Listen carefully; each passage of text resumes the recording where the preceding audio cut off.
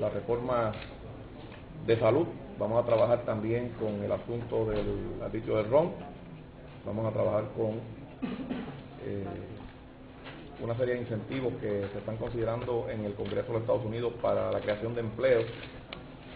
Eh, ya se encuentra la presidenta de la Cámara en Washington atendiendo ese asunto y nos vamos a incorporar con ella y con el gobernador nosotros eh, esta noche y mañana hasta el jueves que vamos a estar visitando. Quería también anunciar que en, la sesión de hoy vamos a aprobar una resolución censurando las expresiones de don Rafael Hernández Colón, en la que de manera peyorativa se refiere al pueblo puertorriqueño. Me parece que la comunicación, la carta que suscribió don Rafael Hernández Colón, describe lo que es el fracaso del Estado Libre Asociado de Puerto Rico que mantuvo en niveles de pobreza a la inmensa mayoría de los puertorriqueños. Creo que tiene varios datos equivocados en su comunicación, particularmente el hecho fundamental en cuanto a los votos que obtuvo su partido. Su partido obtuvo 779 mil votos, no 900 mil como alega el ex gobernador. Y su partido obtuvo solamente el 42% de los votos en las elecciones pasadas. Así que lo invito a él y a la prensa que lo examinen en la página de la Comisión Estatal de Elecciones, eh, donde podrán corroborar eh, recientemente que los números que ofrece en términos del respaldo que tiene su partido son equivocados.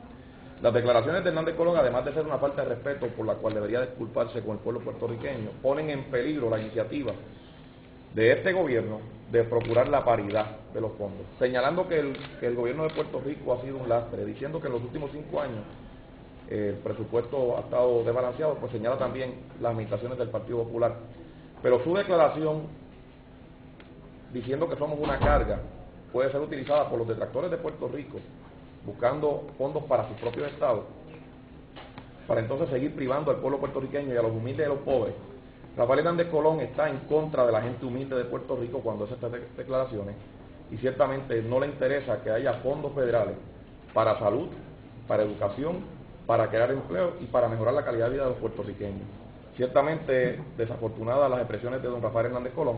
Hoy vamos a aprobar una resolución en el Senado donde vamos a incluir todos los datos correctos y vamos a notificarle a cada representante y senador de, la Asamblea Legislativa Federal para que tenga bien claro cuál es la realidad política de Puerto Rico, cuál fue la expresión del pueblo en las urnas y que censuramos las expresiones de don Rafael Hernández Colón.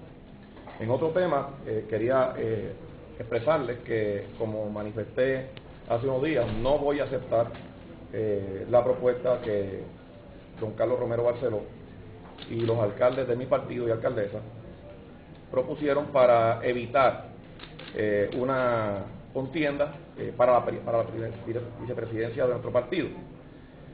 Creo que los procesos de reorganización tienen que llevarse a cabo para estar en sintonía con la base los mensajes que se llevan tienen que ser de abajo hacia arriba y en un proceso de reorganización a quien tiene que escucharse es a la estructura política, a la estructura electoral, a la gente que hace el trabajo que desemboca o que culmina con un triunfo electoral en una elección general.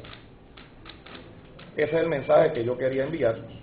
Don Carlos Romero Barceló, en la propia fortaleza, acompañado de Luis Fortuño y de los alcaldes y alcaldesas, manifestó que en efecto hay un descontento en el partido el gobernador de Puerto Rico así lo acepta. Yo le agradezco a don Carlos, le agradezco a Luis Fortuño, le agradezco a los alcaldes que protegieran o que procuraran con esa acción proteger, ¿verdad? Lo que ellos entienden son los mejores intereses del partido. Mi partido, a diferencia del Partido Popular, está procurando unir, está procurando evitar una confrontación. El Partido Popular está tratando de excluir soberanistas, de liquidar al presidente del Partido Popular, de excluir a personas, a diferencia de nuestro partido. Resulta que en esto no coincido con la apreciación de los alcaldes, no coincido con la apreciación de don Carlos Romero Barceló y creo que nuestro partido debe abrirse a la más amplia participación para que todo el mundo pueda expresarse.